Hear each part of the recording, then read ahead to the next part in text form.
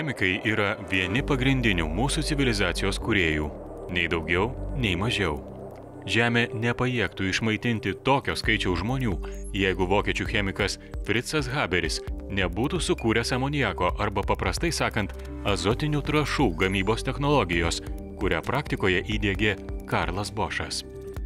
Šis elementas gyvybiškai būtinas augalams. Gamtoje esančių išteklių buvo pernelyg mažai. Už šiuos nuopelnus 1918 metais Fritzas Haberis pelnė Nobelio premiją. Dėl azoto trašų žmonių skaičių Žemėje nuo 1900-ųjų išaugo nuo 1,6 milijardo iki beveik 8 milijardų. Deja, Haberis liūdnai pagarsėjo ir kaip cheminio ginklo tėvas. 21 amžiuje chemikai toliau sėkmingai kuria naujas medžiagas ir jų gamybos metodus. Pernai Lietuvos mokslo premiją pelnė Vilniaus universiteto chemikų komanda - profesoriai Aldona Beganskienė ir Aivaras Kareiva už naujų sintezės metodų sukūrimą. Šie metodai padeda kurti arba tobulinti naujas neorganinės funkcinės medžiagas. Cheminė sudėtis gali būti tokia pati, bet pakeitus aplinkos sąlygas iš esmės kinta jo struktūra ir gimsta visai kitomis savybėmis pasižyminti medžiaga, pritaikoma netikėtose srityse.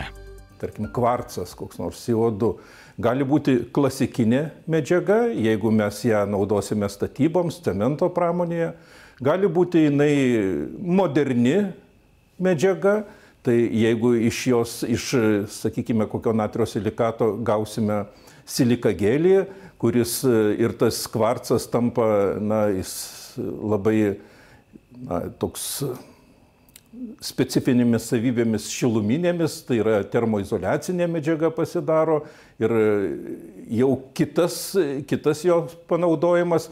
Jeigu dar nano silicio oksido dalelę susintetinsime, jas panaudosime jau medicinoje.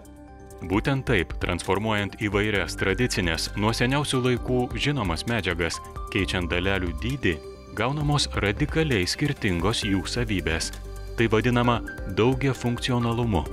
Taigi, civilizacijos pažanga lemia vis platesnis medžiagų asortimentas ir už tai reikia padėkoti chemikams.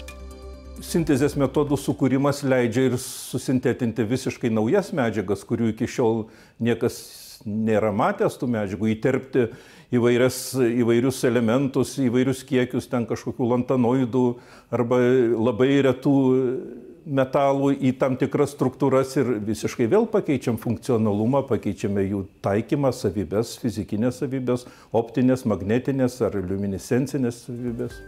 Vilniaus universiteto chemikai tyrimuose naudoja vadinamąjį zolių gelių sintezės metodą. Tokiu būdu patogu keisti medžiagų savybės. Pavyzdžiui, keliais būdais susintetinę aliuminio ir magnio hidroksidą mokslininkai gavo iš esmės skirtingas, bet visais atvejais naudingas medžiagas. Mes jį galime naudoti įvairių organinių reakcijų katalizatoriumi. Jeigu mes jį susintetiname šiek tiek kitokiomis sąlygomis, gaun, keičiam paviršiaus morfologiją, mes jį galime naudoti adsorbentų, sunkiųjų metalų adsorpcijai iš užterštų vandenų. Jeigu mes dar tą patį dvigubą hidroksidą šiek tiek legiruojame lantanoidų, neodimių, cerių, terbių, europių ir šiek tiek pakeičiame jo struktūrą, tai nauja luminescencinė medžiaga, kuri švyti skirtingose, sakykime, optinio spektro srityse. Neorganinės chemijos specialistai nejučiamis tapo įvairių unikalių medžiagų kūrėjais. Tai natūralus procesas, nes augant specifinių medžiagų poreikiui, chemikai ėmė glaudžiai bendrauti su fizikais, biologais, medikais. Tai leidžia geriau prognozuoti rezultatus ir naujų medžiagų savybės.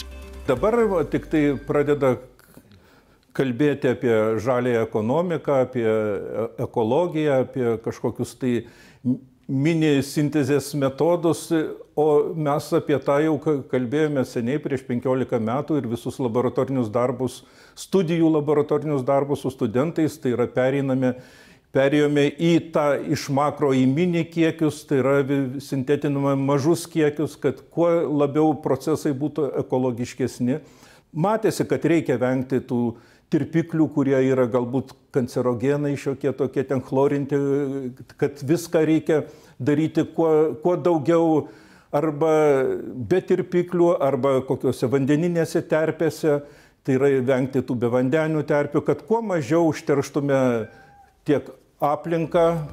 Tas ekologiškas požiūris ir ekonominiai motyvai paskatino mokslininkus kurti naujus, pigius sintezės metodus.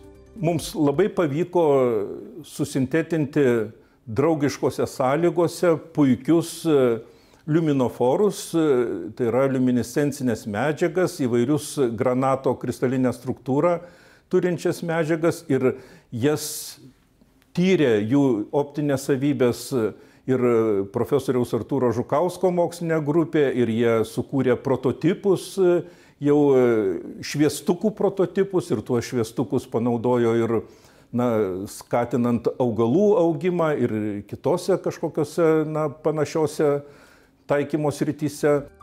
Profesorė Aldona Beganskienė pirmoji Lietuvoje ėmė sintetinti kaulus pakeičiančias medžiagas universitete Vokietijoje.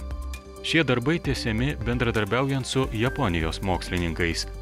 Dar vienas pavyzdys, kaip pusbrangį akmenį, tokį kaip granatas, chemikai sugeba paversti neįkainojamą medžiagą. Įvairių kristalinės struktūros medžiagų gamtoje daug. Tai ir valgomoji druska, Saulės elementuose naudojamas perovskitas ir daugybė kitų. Tačiau šiek tiek pakoregavus vidinę granatų struktūrą, pavyko atlikti perversmą visiems mums svarbioje srityje.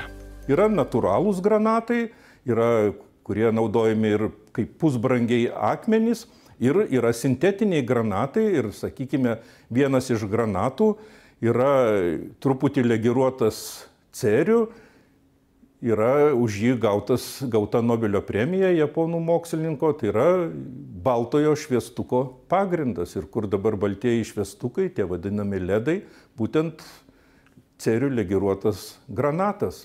Arba neodimių legiruotas granatas, tai pagrindinė lazerių yra kietoji medžiaga aktyvioji. Chemikai puikiai moka tobulinti gamtos sukurtas struktūras. Pavyzdžiui, Jie paima įtrio ir aliuminio oksidą, į jo struktūrą įterpia šiek tiek neodimio, cerio ar kitų cheminių elementų molekulių. Tokią sudėtinę medžiagą sužadinus šviesa, jie ima pati skleisti raudoną, geltoną ar mėlyną šviesą. Nenuostabu, kad iš šių elementų buvo pradėti gaminti šviestukai, sparčiai keičiantys įprastas skaitrinės lemputes. O tai didžiulis ekonominis efektas, Vilniaus universiteto chemikai šį metodą pritaikė ir kitoje srityje.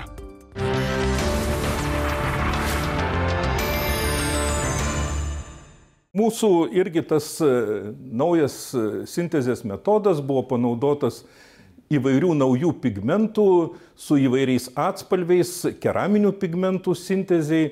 Tai yra ir, sakykime, nuo mėlynos iki žalsvos ir nuo, nuo rudos iki geltonos ir visokiausių pigmentų. Ir taip be, be sintetindami naujus pigmentus mes sugalvojame, kad reikia ir tirti tuos senuosius pigmentus. Lygindami rezultatus su įsigyta istorinių pigmentų biblioteka, jie nustatė, kokius pigmentus Lietuvos didžiosios kunigaikštystės raštininkai naudojo prieš daugelį metų. Mes tuos rankraščius su pigmentais sendinome dirbtinėmis sąlygomis. Tai yra, dėdavome į kamerą, tam tikroj temperatūrai, keliam temperatūrą, slėgį, drėgmę ten ir bandėme sendinti kiek įmanoma greičiau, tai yra pagreitinti tas e, sąlygas e, natūrales, kad, na, bet kaip nebūtų keista, tie naudoti pigmentai prieš porą šimtų metų, jie tebėra stabilus ir jie niekas nesikeičia, jų cheminė sudėtis beveik ta pati išlieka. Vadinasi, jau tais laikais naudojo puikias cheminės medžiagas. Raudonuose pigmentuose įprastai būdavo naudojamas švinas, kuris, kaip žinia, yra nuodingas. Tuo tarpu profesorė Beganskenė tyrė šarminančias medžiagas, ieškodama efektyvių būdų išsaugoti senąjį popierių, kuriam laikas taip pat yra negailestingas. Jeigu trumpai, tiesiog tokią problemą papasakosiu, kad e, popierių gaminant, naudojant medžio, medieną, tai yra procesų metu mes neišvengiam iš tikrųjų rūkštinių medžiagų atsiradimo. Ir dabar gaminant popierių dedamas kalcio karbonatas, aliuminio oksidas, įvairios kitos medžiagos, kurios padeda, na, tam popieriui netapti trapiu, geltonu ir būti tokiu stabiliu. Senasis popierius tų priedų dėja neturi, todėl teko sugalvoti, kaip padėti restauratoriams sustabdyti popieriaus įrimą. Mes orientavomės į paprastas medžiagas, kurios buvo naudojamos ir technologiniuose procesuose, bet ten naudojami kaip milteliai paprasti, na, o čia, kaip sakiau, atrasti tą naują formą, nanostruktūrizuotus darinius. Tai yra nano iki 10 nanometrų na, iki 50 nanometrų, nedaugiau. Nes jeigu dalelės yra didesnės, mes iš karto ant popieriaus arba paveikslo, arba ten kažkokio tai piešinio gausim tokį, na, balkšvą foną. Taigi, kuo smulkesnės, kuo mažesnės. Reikalingos ta, kad mūsų akis tiesiog nematytų tos papildomos medžiagos restauruojant. Darbai davė puikių rezultatų. Sukurtas sintezės metodas, leidžiantis chemikams kontroliuoti gaunamų dalelių dydį. Taip gimsta popierių tausojančios medžiagos. Ir antras dalykas, mes po to patikrinom, o kokią įtaką turės po kelių metų tam, kad mes galėtumėm tą įvertinti, tai yra naudojami tikrai tokie metodai kaip sendinimo ir žiūrime pagreitinto sendinimo. Tai yra temperatūroje, tam tikram slėgiai. Na ir žiūrim, ką daro šita medžiaga mūsų popieriaus pavyzdžiui. Dažniausiai knygos apdorojamos šarminė medžiaga purškiant. Taip stabilizuojamas popierius. Kartais jos net plaunamos. Pasirodo, knygas galima plauti, naudojant specialius stalus, vakuminės spintas. Dabar restauratoriai jau gali įsigyti tokias kalcio hidroksido arba kalcio karbonato daleles iš įvairių pasaulio kompanijų. Nepaisant to, problema nėra visiškai išspręsta. Nepakanka sukurti medžiagą arba technologiją. Reikia, kad ji būtų patogi naudoti ir gana pigi. Būtent todėl išradėjui Fritzui Haberiui teko sujungti jėgas su kolega Karlu Bošu, kad azotinės trašos užkariautų pasaulį.